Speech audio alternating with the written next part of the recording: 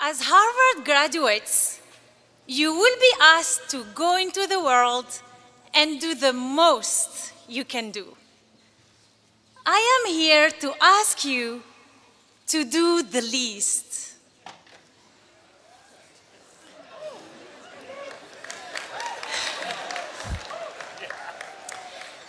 I grew up in a small village in Algeria. Every Friday, my sister and I had our weekly shower at the public bath. We didn't have running water at home.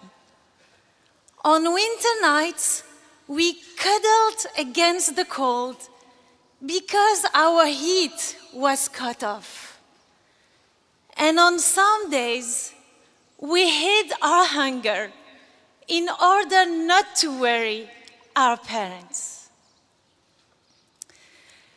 When I was seven years old, my country plunged into a bloody civil war.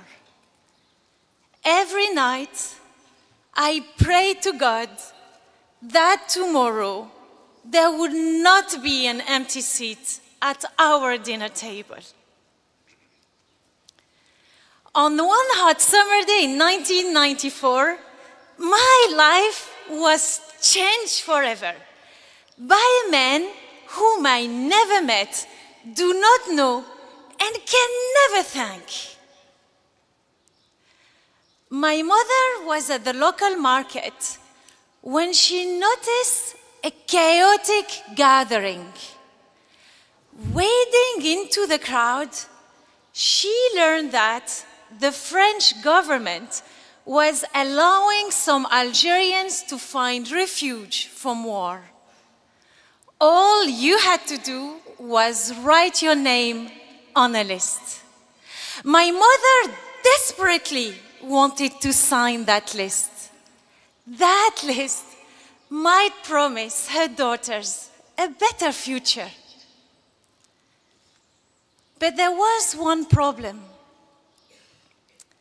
My mother was illiterate. She did not know how to write her name, Fadila Tagjarat. Dejected, she walked away. A man noticed her and ran after her. He got my mother's name and wrote it down on the list.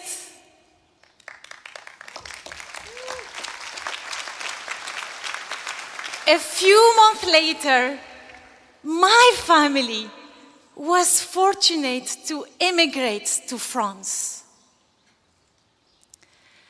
I was sad to leave my beloved homeland, caring neighbors, childhood friends, and extended family. But I knew that bright opportunities awaited me. Had I stayed in my village, assuming I was spared from bullets or bombs, my life would have been very different. I would not have become the first woman in my family to graduate from college, to work and live abroad. I would not have had the chance to call Harvard my home this past year. As we are graduating today, I still find myself asking, why did this wonderful man run after my mother? A simple gesture of writing a stranger's name on a page offered an entire family hope for a better life. He will probably never know the difference he made. But from the small seeds of his goodness have grown fruits of prosperity for my family, myself, and everyone whom we touch. I now have the ability to shape my world. But this ability was sparked by one little encounter which lit up the course of my life. So that is the real power. The power of little things. The least you can do can bring true change. Perhaps you have been blessed in your lives with small gifts that made big changes. Maybe it was a teacher who instilled in you her love of a certain subject, or a kind stranger who helped you with directions when you were lost. At Harvard, I see it every day in the smiles of the cafeteria staff who keep me so well caffeinated. and in ad hoc babysitting circles, small things, such small things. But from these small things grow inspired people, lasting friendships, and stronger communities. When one person thanks another, the second person often replies, Oh, it's the least I can do. Because often the least you can do can be more than enough. You don't need to move mountains.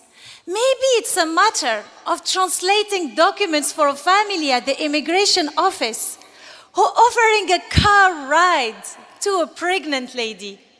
You never know how these small gestures can affect people's lives.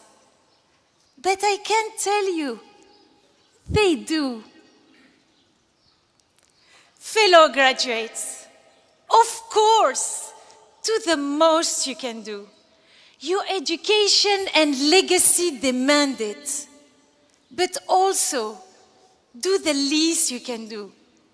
Because the least you can do might turn out to be the most significant. To that gentleman in Algeria, I now say, Shukran, Wallahi afik. Thank you, and God bless you. And to each of you today, I ask of you, what is the least you can do now to make the world around you a little better?